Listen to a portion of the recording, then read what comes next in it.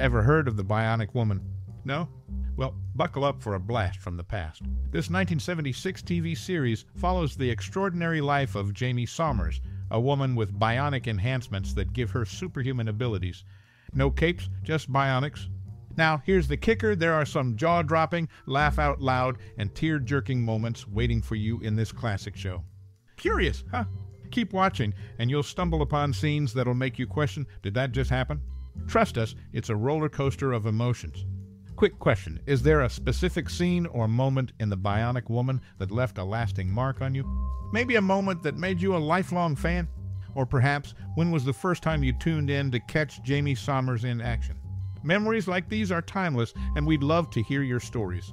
Share your most cherished experience or memory related to the show in the comments below. Your nostalgia is our treasure trove. So don't be shy, spill the bionic beans. Your tales could be the missing link in someone else's journey down memory lane. Keep the conversation alive and let's relive those bionic moments together. And remember, there's more to come, so stay tuned for the funny, shocking, and sad facts that await. This journey down memory lane is just getting started. The Bionic Woman, a groundbreaking TV series from 1976, left an indelible mark on popular culture. Chronicling the extraordinary life of Jaime Sommers with her bionic enhancements, the show garnered widespread acclaim during its time. Its impact was not confined to the small screen as it sparked a cultural phenomenon. The reception was nothing short of phenomenal. Audiences were captivated by the unique narrative and the superhuman abilities of Jaime Sommers. The absence of traditional superhero tropes, such as capes, added a refreshing twist to the storytelling. Viewers found themselves on a roller coaster of emotions, oscillating between jaw dropping, laugh out loud, and tear jerking moments. The influence of the show transcended the TV screen, giving rise to a wave of spin offs, merchandise, and adaptations. Jaime Sommers became a cultural icon, and her bionic adventures inspired a new wave of storytelling in various forms. The impact wasn't just confined to the 1970s, it endured over the years, creating a lasting legacy in the annals of television history. Spin offs and adaptations fueled the fervor surrounding the series. The character's popularity spawned a range of merchandise, from action figures to novels, further embedding Jaime Sommers into the fabric of popular culture.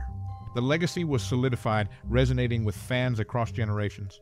As the bionic fever continued, the show became a touchstone for nostalgia, Fans fondly reminisced about specific scenes or moments that left a lasting impression. Its ability to evoke timeless memories became a treasure trove for enthusiasts, connecting them through shared experiences. In retrospect, The Bionic Woman stands as a testament to the power of innovative storytelling and character development. Its impact on popular culture, evident in the array of spin offs and merchandise, underscores the enduring appeal of Jaime Sommers' Bionic Saga. The series' legacy continues to echo in the hearts of fans who cherish the timeless moments it provided. Amidst the captivating narrative of the Bionic Woman in 1976, the backstage stories unveil a realm of intriguing happenings that added layers to the show's allure. Behind the scenes, the cast and crew navigated the challenges of bringing Jaime Sommers' bionic adventures to life, creating an atmosphere brimming with creativity and unforeseen moments. One particular anecdote involves a behind the camera mishap during the filming of a high stakes action sequence.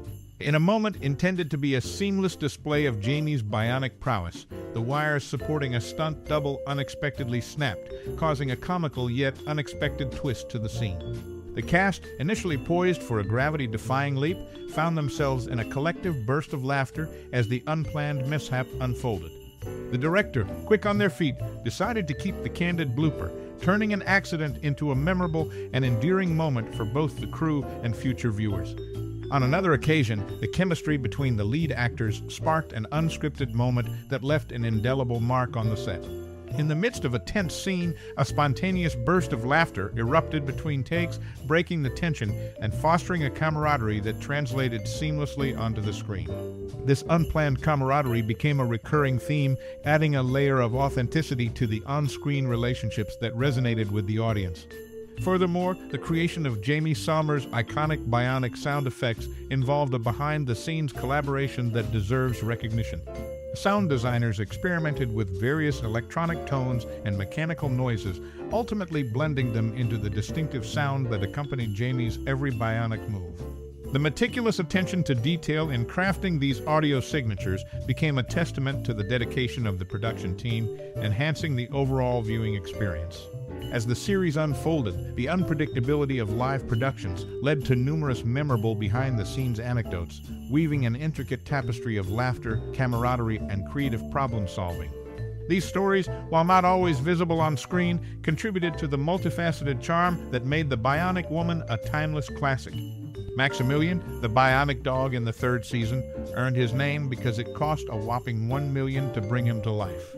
This hefty price tag marked him as a testament to the show's commitment to cutting edge technology.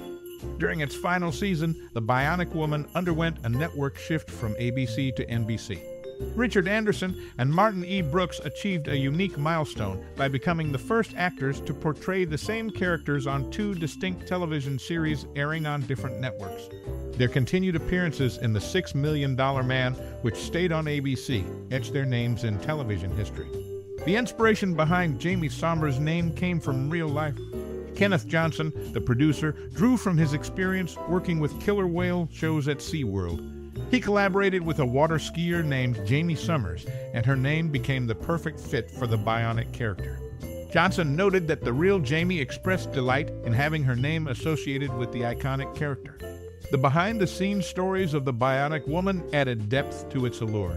In one incident, a mishap during a high stakes action sequence turned into a comical blooper, creating an unexpected moment of humor for both the crew and viewers. Another unscripted laughter between lead actors, breaking tension during a scene, fostered an authentic camaraderie that translated onto the screen. The creation of Jaime Sommers' bionic sound effects involved meticulous collaboration among the production team. Sound designers experimented with electronic tones and mechanical noises, crafting the distinctive sounds accompanying Jaime's every move. This attention to detail enhanced the overall viewing experience, showcasing the dedication behind the scenes. The journey through the Bionic Woman, marked by technological marvels, network shifts, and real life inspirations, offers a unique glimpse into the world that captivated audiences in 1976. These facets, whether planned or spontaneous, contribute to the show's timeless legacy. Lindsay Wagner took the lead in the Bionic Wedding TV movie reunion, despite Lee Majors finding success in the 80s with The Fall Guy. Wagner, however, did not experience a similar post Bionic franchise hit. In the first year of The Bionic Woman, a car accident involving Lindsay Wagner and her then boyfriend, actor Michael Brandon, interrupted production for two weeks. Wagner sustained a cut on her upper lip, leaving a permanent scar. The accident necessitated a hiatus to allow her time to recover. Jaime Sommers and Steve were portrayed as high school sweethearts, yet in reality, Lee Majors was a decade older than Lindsay Wagner.